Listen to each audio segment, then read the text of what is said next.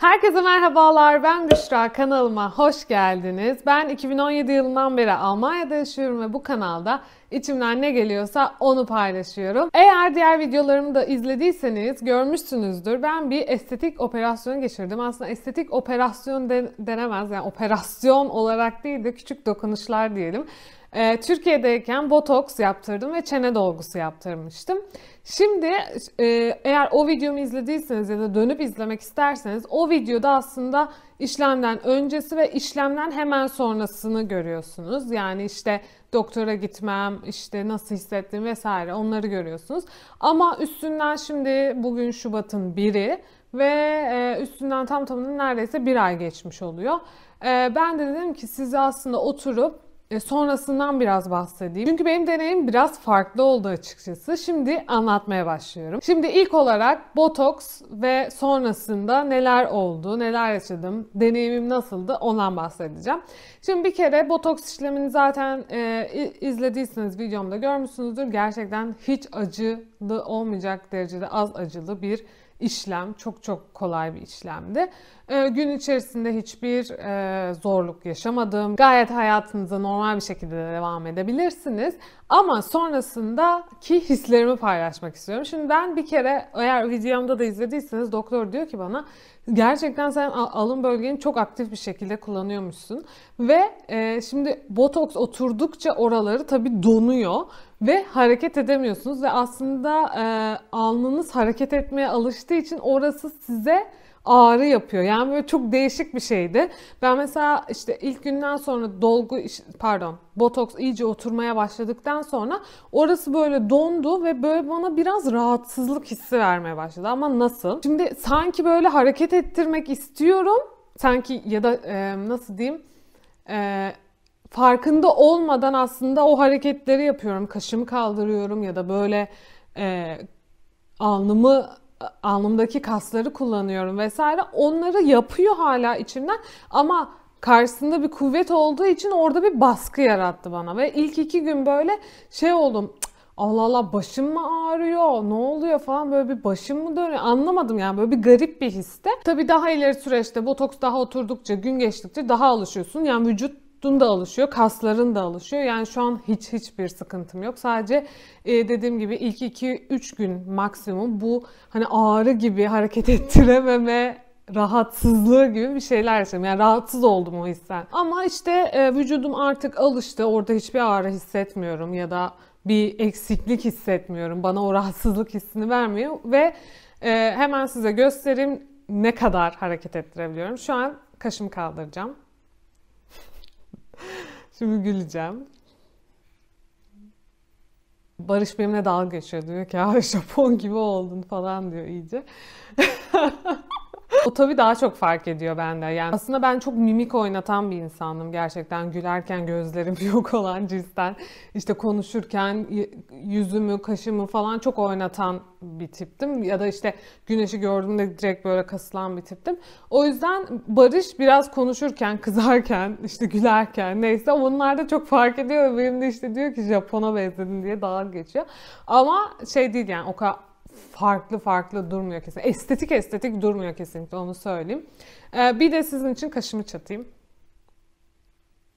Yani hala kaşımı çatabiliyorum gördüğünüz gibi çünkü bu baby botoks yani. Evet botoks bu şekildeydi. Ben botokstan çok çok memnun kaldım. Kesinlikle bir daha yaptırırım. Artık senede bir mi yaptırılması gerekiyor? 6 ayda bir mi bilmiyorum. Sanırım o botoks eridikçe zaten kaşların işte e, kasların tekrar oynamaya başlayınca onun geldiği zamanı anlayabiliyorsun sanırım.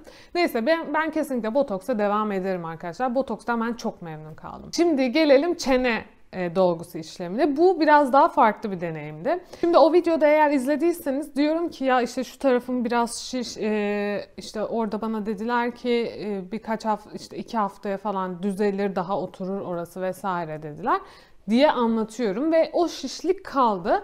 Ondan sonra işte birkaç gün geçti o ağrısı yani çok enteresan bir şekilde şöyle sağ tarafımda Hiçbir şikayetim yok. Şu tarafım yani gayet şekli de güzel bir şişiklik de yok, bir sertlik de yok. Ama sol tarafımda e, böyle bir sertlik, şişlik, sanki böyle bir ekstra e, bir şey varmış gibi duran bir e, his ya da görünüş de vardı. Ondan sonra neyse bekledim. Zaten 10 gün sonra benim kontrolüm vardı. Normalde 2 hafta sonra kontrol tarihi veriyorlar ama biz Almanya'ya geri döneceğimiz için bana 10 e, gün sonrasında kontrol vermişlerdi. Şimdi biz e, aslında işte işlemden e, tam 10 gün sonrası Cuma gününe denk geliyordu. Biz de o hafta home office yapıyorduk. Bursa'daydık. Yine diğer videolarımı izliyorsanız görmüşsünüzdür. Bursa'da kaldığımız otelin oda turunu vesaire çekmiştim. Çok güzel bir oteldi. Ya da Instagram'dan da takip ediyorsanız orada da birkaç fotoğraf paylaşmıştım. Eğer takip etmiyorsanız ismim orada da Daily Büşra diye geçiyor. Neyse biz Bursa'dayken e, beni klinikten aradılar ve dediler ki işte e, doktorumuz hasta olduğu için sizin randevunuzu, e, kontrol tarihinizi ertelemek istiyoruz vesaire diyorlar. Ben dedim ki yani ben döneceğim benim yani cuma, cumartesi ya da pazar kontrolümü yaptırmam lazım. Çünkü pazartesi dönüyorum. Neyse çok yardımcı oldular sağ olsunlar. Hatta bana İsmail Küçüker'in kendisini ayarladılar. Yani normalde İsmail Küçüker biliyorsunuz ki o kliniğin sahibi ve takvimi böyle yaz sonuna kadar falan dolu birisi. Neyse e, benim sadece kontrol olduğu için e, böyle 10 dakika 15 dakika ayırması gerekiyordu. Beni e, araya sıkıştırabildiler. Sanırım iki ameliyat arasında ama öyle bir şeyi sıkıştırdılar hatta. Öyle diye hatırlıyorum. E, ve bana cumartesi gününe randevu verdiler ve benim işte randevu e, tarihi gelene kadar e, o şişliğim geçmedi, morluğum kal. Bana işlem yapan doktorun numarası vardı. Ben ona o fotoğrafları paylaştım. Hani beni yönlendirmesi için sizce normal midir bu şişlik, morluk vesaire. O da bana işte e, dedi ki işte şu şu hem işte şu şu numaradan hemşiremize ulaşıp bilgi edinebilirsiniz vesaire dedi. Neyse ben onunla çok uğraşmadım. Benim zaten randevum var birkaç güne. Giderim doktorda sorarım. Ondan sonra doktora gittim. İsmail Bey benimle gerçekten çok ilgilendi. İşte e, sordu. Önce botoksumu kontrol etti. Gayet oturmuş vesaire dedi. Çeneye geldiğinde dedi ki nasıl e, vesaire. Ben dedim ki ya e, ben hala bu sol tarafta bir şişlik hissediyorum. O şişlik geçmedi. Bir asimetri görüyorum. Yani e, bir de siz kontrol edin dedim. Tekrardan beni o sedyeye aldılar. Hani işlemi uygulanan sedye tarzı yere ve bana baktı. Sonra dedi ki ha burada biraz topaklanma olmuş dedi. E, ben dedi bunu düzelteceğim dedi ve lokal anestezi uyguladı bana. Ondan sonra lokal anestezi uyguladıktan sonra bildiğiniz arkadaşlar iterek dolguyu hareket ettirdi. Sanırım ilk bir ay içinde dolguyu böyle parmağınızla sertçe iterek oturtabiliyormuşsunuz. Ben orada işte normal bana çene dolgusu yapıldıktan sonra bir işlem yapılmadı yani ittirme, düzeltme vesaire diye. Sadece yapıldı ve bırakıldı. Ondan sonra İsmail Bey işte beni lokal anestezi yaptı. Çünkü bildiğiniz çok sert bir şekilde itti böyle e, dolguyu. Bayağı itekledi çene ucuma doğru. Ondan sonra e, işte düzeltti ve dedi ki biraz da dedi e, dolgu eritici uygulayalım. Çünkü burada biraz topaklanma olmuş dedi ve işte dolgu eritici yani sol tarafımdaki o fazla dolguyu eritmek için bir bir şey enjekte etti. Ve dedi ki bana işte e, ilk bir ay içerisinde e, masaj yapabilirsin. İşte şöyle şöyle yapabilirsin. Ondan sonra böyle böyle vesaire diye anlattı. Ben çok az yaptım çünkü zaten e, hani İsmail Bey'in işleminden sonra ben memnun kalmıştım şeklinden.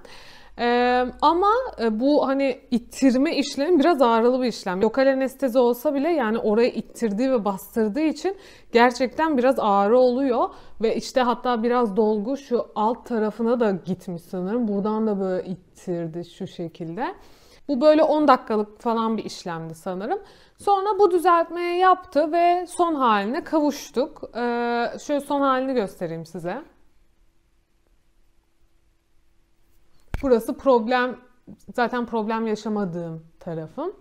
Şu sol tarafımda aslında problem yaşadığım ve şurası şiş olan taraf. Ee, ben çene dolgusundan memnun kaldım mı? Yaptırırım. Kesinlikle sonuçtan memnun kaldım. Çene e, kesinlikle yüzümü değiştirdi. Yani ufacık bir cc bile yüzümün şeklini değiştirdi. Daha uzattı ve daha böyle güzel bir simetri yarattı yani yüzümde. O yüzden kesinlikle çok memnunum yani bu işlemden. Ama tekrar aynı yere gider miyim, gitmez miyim çene dolgusu için onu bilmiyorum. Belki Rene Kliniğe giderim. Emin değilim. Yani çene dolgusu tekrardan yaptırırım ama zaten dolgu böyle çok sık sık yaptırılan bir şey değil sanırım. iki yılda bir böyle eriyince vesaire yapıyorlar. O zaman yaptırırım ama orayla ilgili tabii birazcık böyle şüphelerim oldu. Hani bu bir deneyim yaşadığım için. Çünkü o e, randevuya kadar da biraz ağrılıydı yani. Burası morardı ve şişti.